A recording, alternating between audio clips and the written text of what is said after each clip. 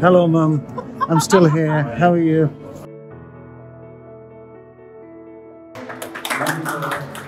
Mr. Ali France, as well. Director Alisher Hassan, please join us. Victoria Medinska, please join us.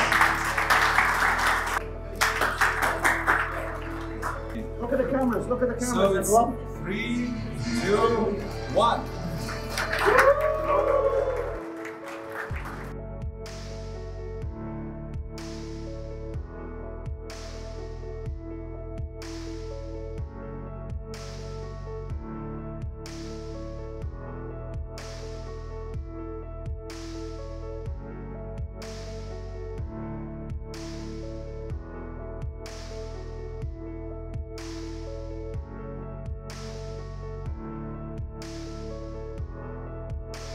And in fact, in Uzbekistan, we have 24 UN agencies, funds, and programs, and I lead that group um, who are working to support and transform agriculture, health, migration, child protection, women's equality, um, environmental standards, etc. And we really want to build on some of the let me put it, um, uh, mod modest partnerships we have today. Um, for example, with UCell, uh, UNICEF has a partnership which is much appreciated, but we want to build a more systematic engagement. It's not enough to, uh, you know, come once a year to Global Entrepreneurship Week. Um, it's not enough to um, have partnerships through Technovation, bringing science, technology, um, engineering, and maths to uh, young women and men across the country. We need to build a more comprehensive set of partnerships because it's it's it's the right thing to do, um, and it uh, it not only taps into all the rich uh, ideas and innovations that business sector can bring, but it also helps to support the broader growth, the broader transformation uh, in Uzbekistan, which I think everyone here today uh, is supportive of. So, in conclusion, um, I I really want to um, you know say we're open for all partnerships possible.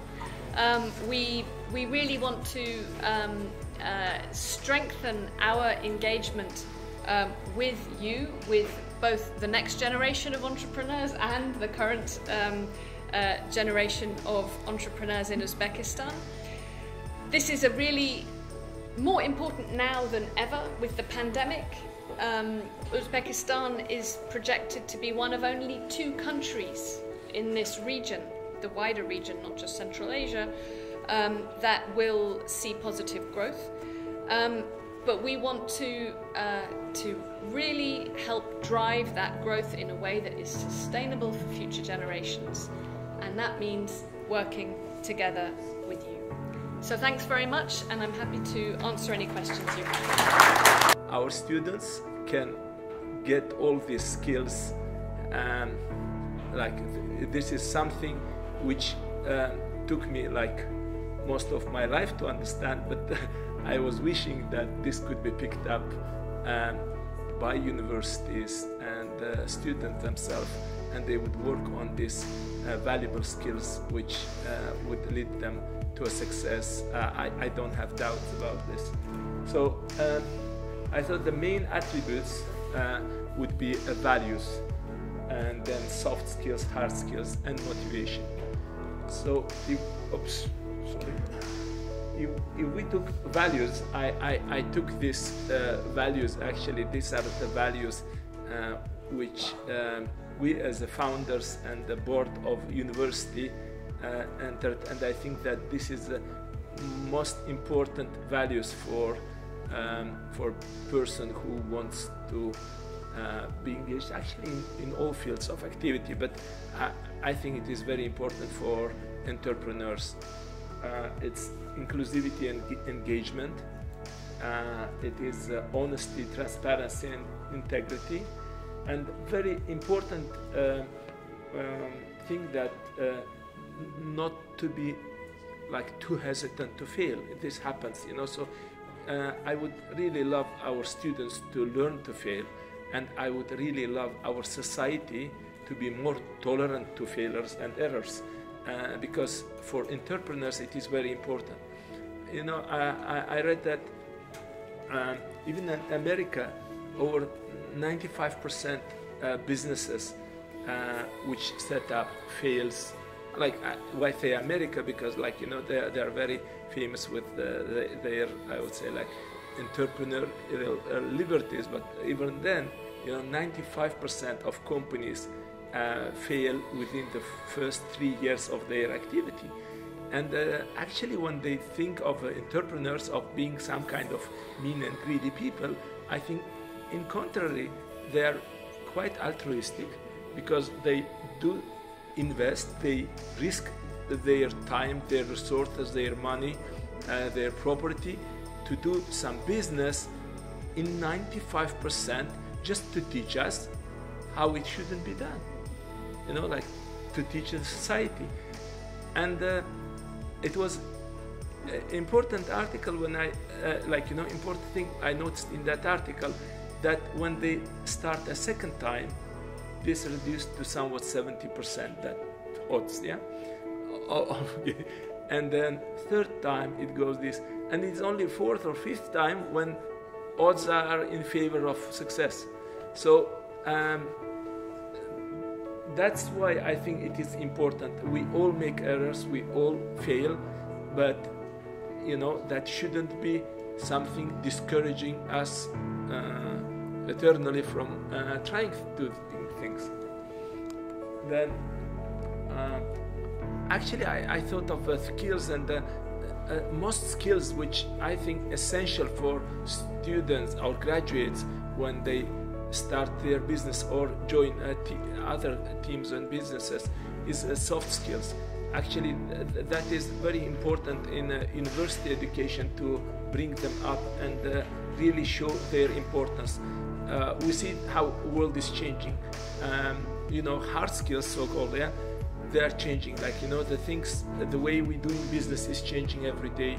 Uh, the, the instruments. Uh, I mean, I, I would say even like you know physical world is changing so fast uh, and uh, and only that soft skill the attitude and uh, uh, emotional intelligence that is things which actually help us all adopt and succeed in the modern world. And uh, it is very important to learn how to make friends and uh, how to manage conflicts. That is uh, very important in any uh, teams and societies. And uh, I, I, put here emotional intelligence uh, for students to be self-aware and uh, taking it even further to be self-regulating and taking it even further to have a good sense of empathy not only understand yourself and try but also to understand how uh, your act or, or circumstances affect other people's opinion and their feelings and uh, positions. And uh, to be uh, to learn how to socialize you know like really how to behave in a, a society how to build these uh, interactions in society. For entrepreneurs especially and uh, especially for uh, uh, like you know i'm in retail business you know you, you speak to people. It is like you know we, we call always business b2c b2b etc actually business is p2p people to people. You know like it's not this. So um, to strike conversation is very important uh, skill i would say. And also what i found the most successful entrepreneurs were always a good storytellers. And the storytelling i would put here as a skill. Uh, and uh, uh, it takes a lot maybe for that, but if you look all famous entrepreneurs, you will see that they are very good storytellers, and uh, and and that is a sum of attribute of uh, success in the modern uh, business. You are lucky, guys, because like you have so much more instruments to research than we had when we started. However, I am not sure if it is uh, uh, just made life much much easier because it's like you know too much information is also a challenge and the, in, in this i would say like uh, flow of information you should catch that single uh, thing which uh, which is important for your success. Like in, in the business uh, uh, like in our business you know we daily come with different uh, to different challenges. And we know hundreds of ways things shouldn't be done. But it is so much more important to find that one way things should be done and uh, for that you need really um, ability of searching information collecting relevant data analyzing them. But here a lot of people stop. Like a lot of my employees when you ask them a question they go they search information they analyze and they come without conclusion. And uh, i always challenge them. I say like look because that is uh, making conclusion or bringing up results is always responsibility. And and uh, one soft skill comes here is the ability to assume responsibility and come up. Once you do this research once you do this analysis come up with your decisions. And if you don't if you're not able to do decisions and you just come search and analyze that's uh, like you know that's like cooking plov and not eating it